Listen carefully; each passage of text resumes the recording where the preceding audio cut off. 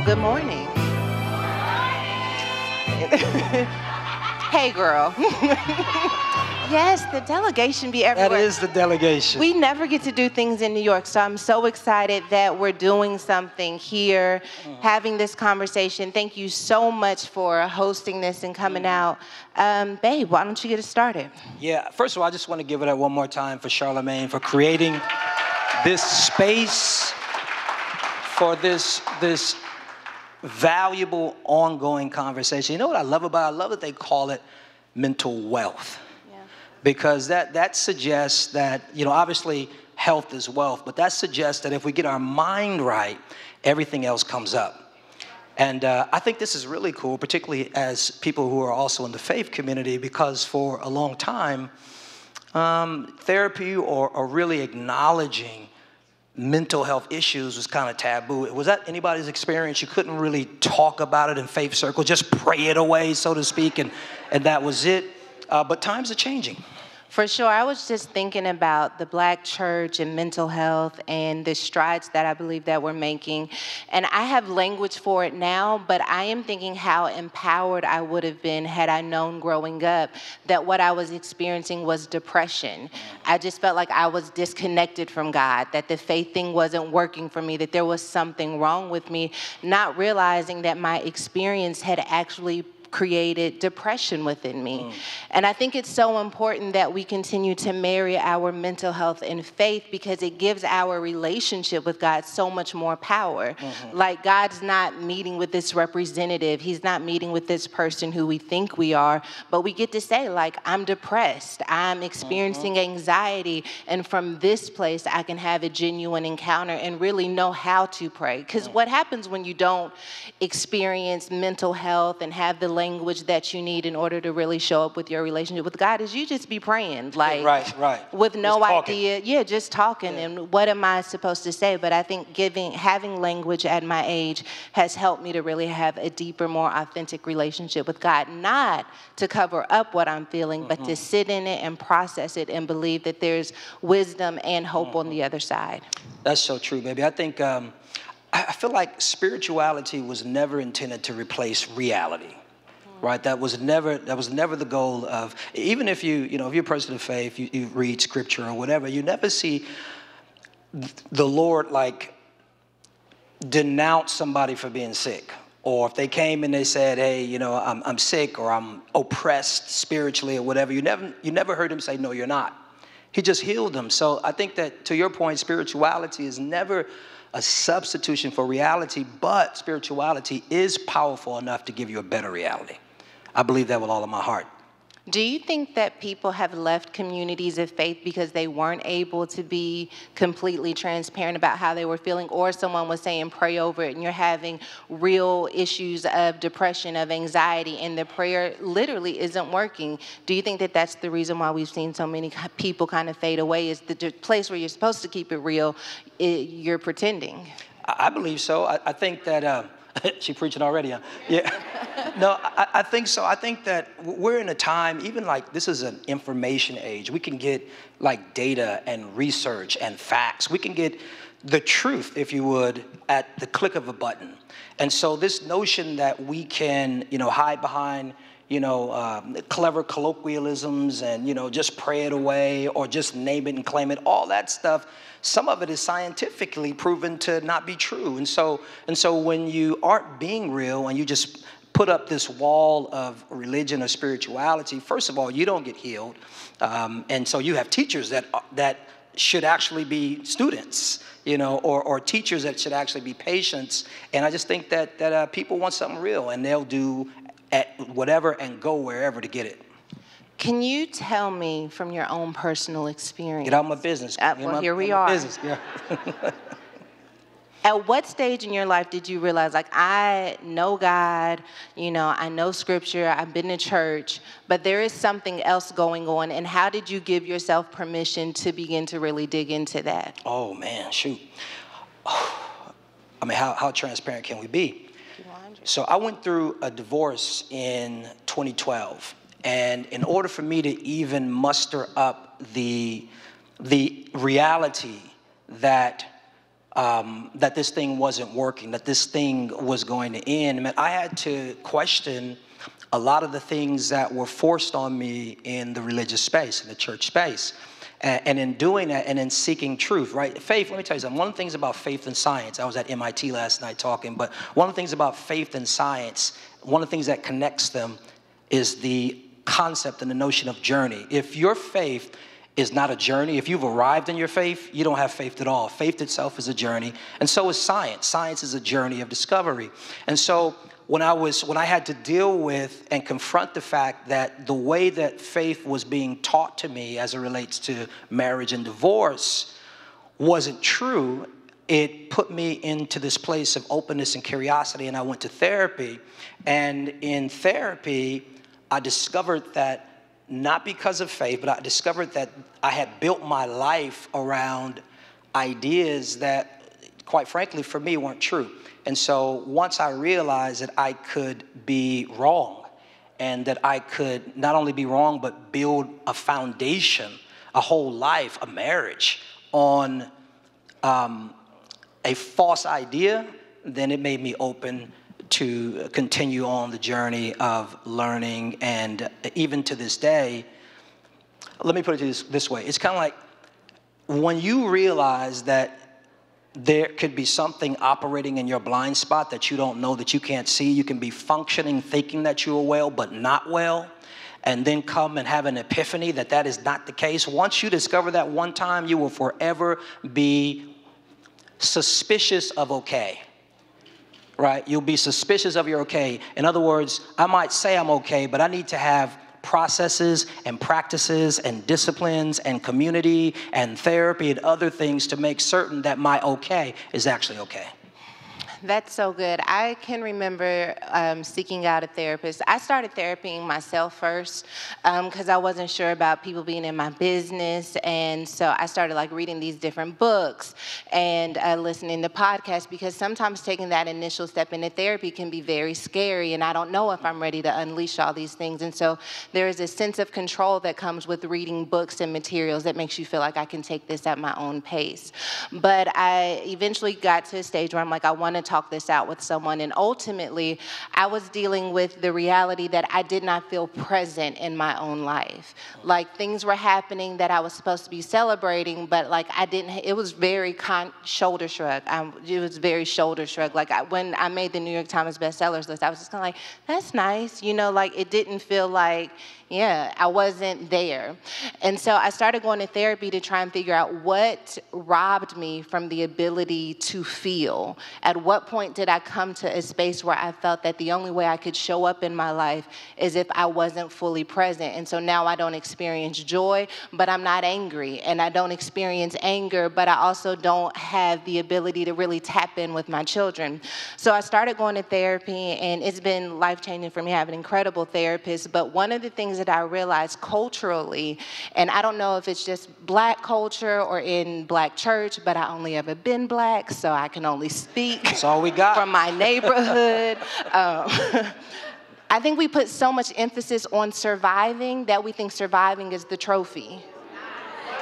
Like, yeah, but I survived it. Yeah, but I survived it. Yeah, but were you restored? Was there wisdom connected to it? What can you teach someone else who went through that? And when the trophy is survival, we stop there instead of recognizing that I can have hope again. I can have joy again. I don't have to walk with this limp, this emotional limp, this emotional damage that keeps me from showing up in my life. And that's where vulnerability comes in. And for me, that's where my relationship with God comes in because it's like I survived survived, but I don't want to go through it again. But I think mental wealth is respecting the resiliency of your wounds so that you can show up in your present with confidence that I don't know what's going to happen, but I don't have to be afraid because I didn't just survive, I recovered mm-hmm. after the survival. That's amazing. That's amazing. Yeah. So this expo, this expo, I love that Obviously, there are mental health themes that we're going to dig into throughout the course of the day, amazing speakers, but I love that it's not called a mental health expo. I love that it's called a mental wealth expo. And, um, and I just think that the most valuable thing that you and I possess is between our ears. I really believe that, that our, our mind is supposed to work for us and not against us. I'm, I'm under the belief that in every moment of the day, brilliance, there's a brilliant thought, a brilliant awareness, a brilliant reality, a brilliant strategy, a brilliant perspective that's made available to us. But oftentimes we have to work through a lot of the negative thoughts, a lot of the negative things to get to that brilliant thought. I, I believe in every single moment there is brilliance. I believe that, that this thing that, that God gave to us to function, to lead us, um, is amazing. And so when we start talking about mental wealth, and how to get to this place of mental wealth where our mind is, is working for us. How many authors are in there? Authors or artists or creators? Raise your hand. So, so you all know, you know, ultimately, and we're obviously authors and do things, but but a lot of our wealth is connected to our head, literally. Our ability to create intellectual property, um, our ability to function well in relationships. Right? You can't be a successful business person unless you know how to manage relationships at some level even if you're you know it's it's a relationship with two or three employees you have to have that so having a healthy head will make you wealthy so, how do we get to this place of mental wealth? Well, if we look at it the same way we look at finances, you think about financial wealth, the first thing we have to do is get educated, right? We have to understand how finances work. We have to understand how businesses work, how all those streams come together. But one of the things that I've learned is that knowledge alone isn't it. You know, we know that, you know, if we eat, you know, I don't know what you guys eat out here in New York, but we have In N Out Burger, we have Fatburger whatever, we know that if we eat certain things, we're not going to do well. We have knowledge, but that doesn't mean that we do well. And so I believe that, that education is the first step. If we were to break it down into three phases that get you to mental wealth, right, to get us to a place where our mind is working for us, we first must be educated. I think that, that that's why this is so important. Honey, what, what do you do, or what would you say are ways that people can get educated about, about mental health so that they can get to mental wealth? Yeah, I think part of education is understanding that there's no way that you have gone through the things that you have experienced and you are okay without there having been some type of process. Mm-hmm. I think it's knowing that if you experienced a divorce, if you experienced abandonment as a child, rejection as a child, that though it may be something that is familiar within your community and within your circle, it just because it's normalized doesn't mean it's healthy. Mm-hmm. And I think having the ability to say, okay, maybe that did hurt. Maybe that did change the way I see my potential. Maybe that did change the way I see relationships. Maybe I'm not okay. Mm-hmm. I think to know thyself is empowering. Yeah. And there is something beautiful about understanding I'm probably not okay, which means I can't always trust my reactions to certain things. Am I reacting from a place of hurt and anger, or am I responding from a place of health and wellness? And so for me, when I take a minute and I look at my life and I look at my schedule, and I look at some of the new trauma and the old trauma that has shown up in my life, I have to take a minute and ask myself, like, am I really showing up with a well-rounded view of all of the versions of me that can respond to this moment? It happens between us all the time, because mm-hmm. listen, child, he be. He be. He be.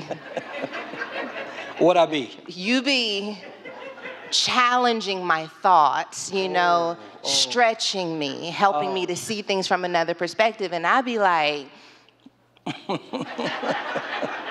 I don't like that. You know what I mean? Like, that's not for me. I don't enjoy that. It makes me feel inadequate. It makes mm. me feel like you don't think I'm smart. It makes me feel like you think I made a poor decision. It makes me feel like a 13 year old girl who got pregnant. Mm. Mm. So when I end up drawing that line back to, are you paying for asking me a question about a business decision, or are you paying for the residue of me feeling like I don't make good decisions because of something that happened to me? Wow. And that's the kind of work that just have you out here eating cake, cause like. I don't have time to be in my feelings like this, but also Yeah. I guess it makes for a good marriage. So, like, here I am telling him that though you asked me about a contract, when you questioned the fact that I signed it, it made me feel like you didn't trust me and that I made poor decisions. And so that's why I responded in anger. But all of that is educating myself on my triggers, on my trauma, how it shows up in my life, and how it affects my relationships. Amazing. So that's powerful. That's powerful. So education brings us to a place of awareness. So all throughout today, we're going to go to a place of awareness. But our journey to mental wealth doesn't stop at education, doesn't stop at knowledge, doesn't stop at awareness. Uh, knowing is one thing, but you know, changing behavior is another thing. So the second thing that I believe uh, as we're on our journey to mental wealth is not just education, but it is also practice.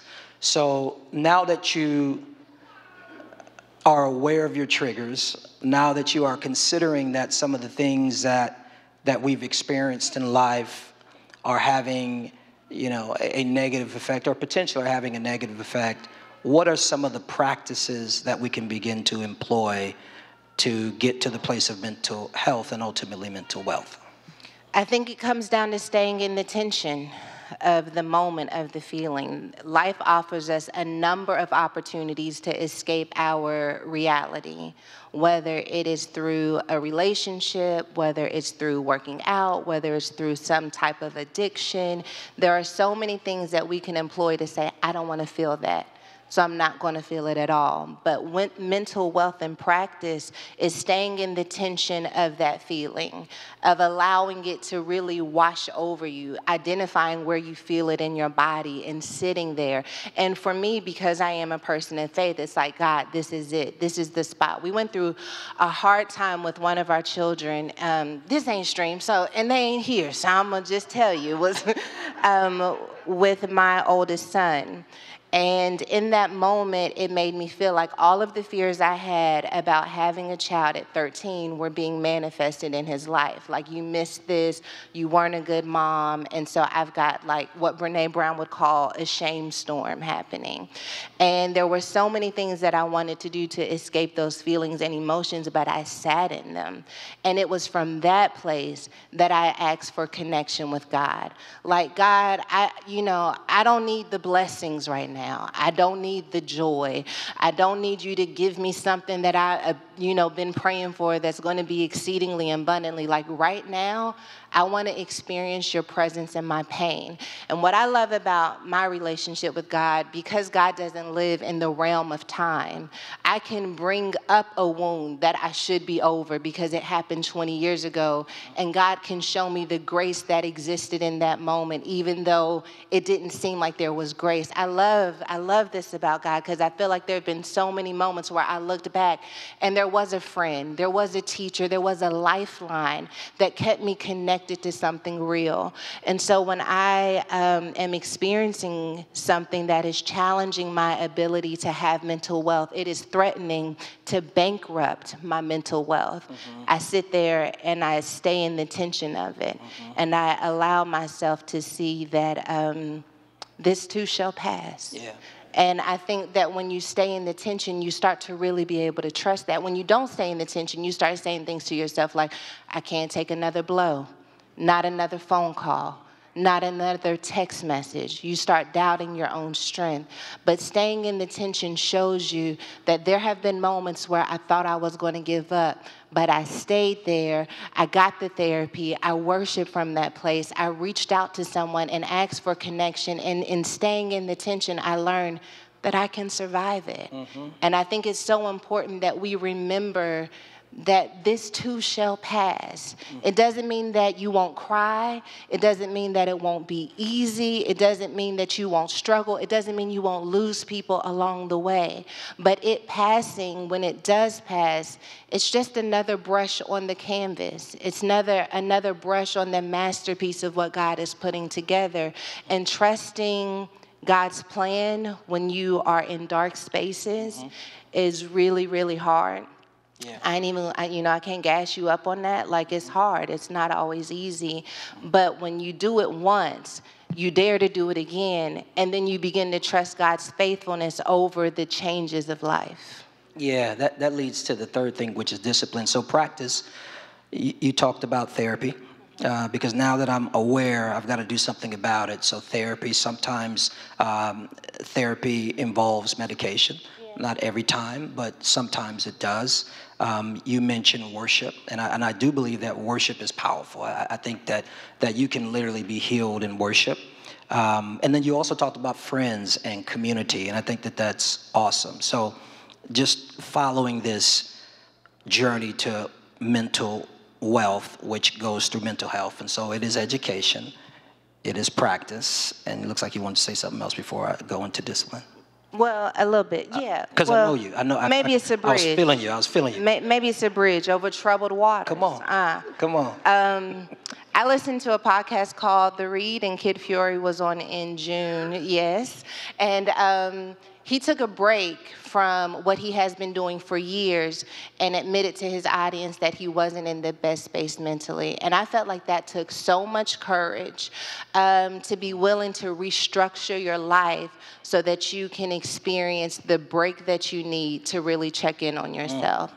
And so I think that it's worthy of us saying, when talking about practice and discipline, that you may have to risk disappointing some people mm-hmm. to hang on to yourself. Mm-hmm. You may have to be willing to change the way your life is structured so that you can be built again. A lot of times we're going through reconstruction and trying to hold everyone else up, and you can't hold everyone else up and go through reconstruction. Not every time. Maybe you did it in the past. We older now. Things cost too much.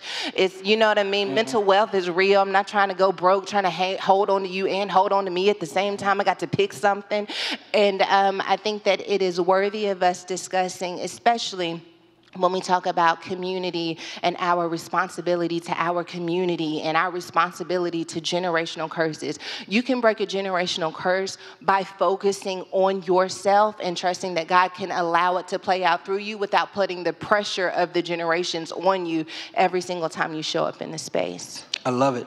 Uh, in my latest book, Shameless Plug, Balance, we call that the power of no how, how no is, is powerful and, and you, you, can't, you can't have mental health or wealth if you don't get comfortable with no. And so Kid Fury essentially told all of his uh, podcast listeners, no. Can you imagine the pressure? You know what I mean? You got, you know, hundreds of thousands of people, maybe millions of people waiting on you, but to, to choose you requires you having a healthy relationship with no. It's powerful. So, on our journey to mental wealth. We're going to get educated. Thank you so much again for this. This is all day. There's going to be knowledge being dropped. I see my friend Shaka here, and, and just knowledge is going to be dropped. Knowledge is going to be dropped. Uh, and then once we get that knowledge, knowledge unapplied, unpracticed is, is nothing. Sometimes it's even worse. If I know what to do but don't do it, that, that can have uh, even a more damaging effect. And so we're going to get the therapy. We're going to worship, right? If that's what you do. Um, we're going to be in community. We're going to be open. We're going to be vulnerable. But I think that where the real breakthrough comes in as it relates to mental health and mental wealth is in your disciplines. It's, it's in being consistent. So I'll, I'll give like my personal testimony with discipline, if you would. For me, my, my biggest uh, issue in the area of mental health, and I think that this is not unique to me, I think many of us struggle with it, are negative thoughts. You know, you, you, you step into a moment, there's a, a huge opportunity there for you, but, you know, right before you step into the moment, all of a sudden you are flooded with thoughts of inadequacy. You, you ultimately could, if you don't check it, talk yourself out of things instead of talking yourself into things. And so what I've learned to do, and this this takes time. It takes time. Is I am very very um, regimented about my story. What I say to myself. The most important story in your life is a story you tell yourself every single day. And so I have a story about who I am. I have a story about um, my purpose. I have a story about what I can do. I have a story about my identity that, quite frank, and it's a good story, it's an amazing story, it's a brilliant story because here is the truth. I wouldn't be here, you wouldn't be here. Your, your life is the byproduct of a brilliant thought in God's mind. If God didn't think you being alive and breathing wouldn't be a brilliant thing, you wouldn't be here. And so, uh, so let's just honor the brilliance sitting next to us in this room right now. You're, you're brilliant. You are brilliant. You, and, and hear me, you are a good story. When, it, when, when everything is added up, you are an amazing story. Now, ha, does your story have some plot twists? Does your story have some unexpected disappointments and, and things that will trip you up and, and knock you off your feet? I was thinking about someone I lost um, a few years ago on the way here from the airport, and, and, and it was devastated, but I got through it. But ultimately, your story is good. So, for me, as it relates to discipline, I'm very protective over the story I tell myself each and every single day. So much so that now, after maybe walking this out for about seven years, I have kind of almost like mental memory. You know how you have muscle memory? Uh, you do a certain muscle a certain way, your muscles respond. I have mental memory, which means that in many cases where I used to have to wrestle to embrace my story, because I was disciplined enough to rehearse my story day in and day out, use my story as a weapon against every negative story that would come my way, now it's actually a lot easier. It doesn't mean that I don't have to fight. It doesn't mean that I don't have to remind myself who I am, what I can do, where I'm going, who called me, who anointed me, who touched me, who blessed me, who all that kind of stuff. It doesn't mean that I don't have to remind myself, but discipline created a change in my mind.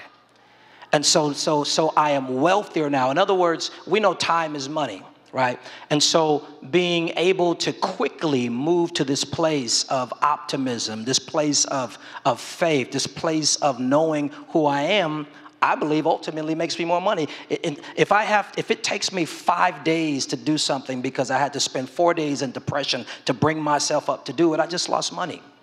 And so I think that discipline, I hate to you know do that money thing, but I believe that that discipline is everything. So once you know what to do, once you have gotten the tools because you're putting what, what to do into practice, then you got to do it consistently.